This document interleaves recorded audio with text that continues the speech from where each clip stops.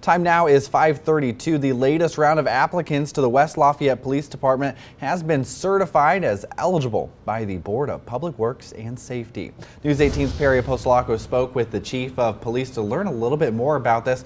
So Perry, I'm curious this morning, how many applicants have been certified in this process? Well, Cody, only 6 out of 30 applicants for this phase met the department's criteria and were invited to the testing round. The department is currently short-staffed by nine officers. That's 20% of their workforce. Chief Troy Harris anticipates just two or three new hires will be made from those six people. He says the department has seen a significant decrease in applications within the last three years. He blames that on multiple factors. The department requires applicants to have 60 college credits and honorable discharge from the or have previously served as a police officer in another department.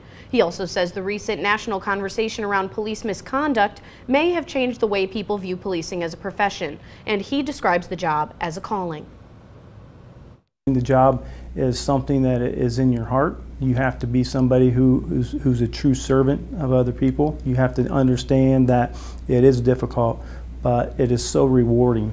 Harris says the department being short-staffed has had a negative impact on morale. Harris invites anyone who is interested in learning more about being a police officer to go on a ride-along or contact the department.